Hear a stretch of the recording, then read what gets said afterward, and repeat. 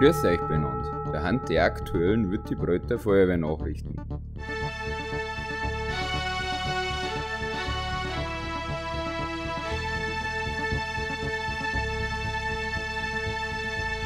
Heute fängt im Feuerwehrhaus berichten der Brei und der Lucke. Grüß euch! In Wittebreit gibt es heuer ein Riesenfest, bei dem das 150-jährige Bestehen von der Wittebreiter Werk feiern wird. Agi tut es am 8. Juli mit der Blaulichtparty, wo es höchstwahrscheinlich richtig süffig geht. Vermutlich haben manche Leute froh, dass sie eine Woche Verschnaufspause haben, bevor es am bayerischen Abend am 15. Juli mit den Schönberger und einem schönsten Feuerwehrmann, ein Steckel Wickel, nur einmal richtig edel wird. Gipfeln tut das Fest dann einen Tag drauf, am 16. Juli, wenn Wehren, Vereine und Bürger miteinander feiern. Davor dürfen wir uns die aktuelle Verkehrslage anschauen.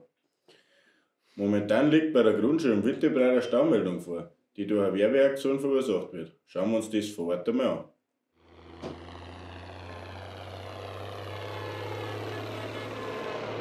Sehen könnt, lässt sich der Stau gerade auf und der Werbebullock fährt Richtung Festhalle weiter, um die fleißigen Feuerwehrleute zu den ersten Aufbauarbeiten zu bringen.